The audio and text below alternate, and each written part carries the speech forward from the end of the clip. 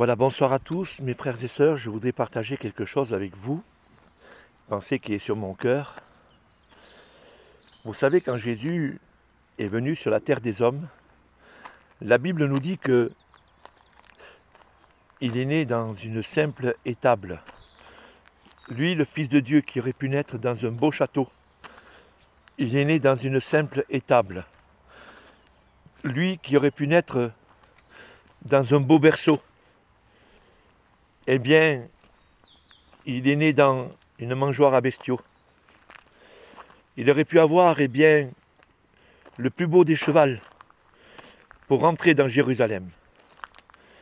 Et il a pris le petit de Nanès, un anon, le Fils de Dieu, le roi des rois, le Seigneur des seigneurs. Il était humble, et puis il a vécu dans l'humilité. Que Dieu soit béni et glorifié.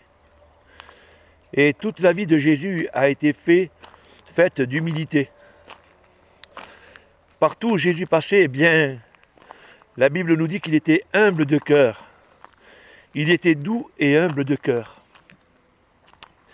Et partout où Jésus passait, il faisait du bien, guérissant les malades, faisant du bien partout où il passait.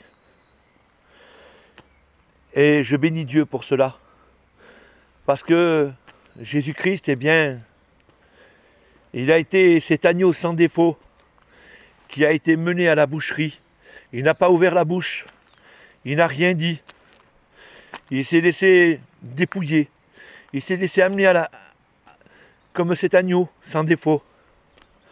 Et je voudrais vous dire, frères et sœurs, que Jésus-Christ, il a été ce sacrifice pour l'humanité entière. Je voudrais vous rappeler que Jésus a été ce sacrifice pour l'humanité entière. Il a été cet agneau que l'on mène à la boucherie. Il n'a pas ouvert la bouche, la Bible nous dit. Il a été muet. Et puis, je bénis le nom de Jésus parce que il a été sur la croix de Golgotha. Et sur la croix de Golgotha, il a porté le péché de l'humanité. Il a porté le péché de toute l'humanité. Il a dit, quand j'aurai été élevé entre ciel et terre, j'attirerai tous les hommes à moi. Et aujourd'hui, ce que Jésus, Jésus veut faire, il veut attirer toute l'humanité à lui. La Bible nous dit, venez à moi, vous qui êtes fatigués, chargés, je vous donnerai du repos. Jésus-Christ est venu il est descendu de, sur la terre des hommes pour libérer le captif, pour apporter l'année de grâce du Seigneur, pour libérer celui qui, était, est captif de son péché. Quand Jésus est mort sur la croix de Golgotha, eh bien la Bible nous dit eh bien qu'il a, qu'il a dit sept paroles. Et parmi les sept paroles que Jésus a dit, il, il en a dit une. Il a dit tout est accompli. Et je voudrais dire que Jésus a tout accompli pour toi et moi. Que Dieu soit béni et glorifié. Il nous a ouvert le chemin du ciel par, sa mort à la croix. Il a été malédiction pour nous. Il a pris la main de son Père à Golgotha. Et il a pris la main de l'humanité.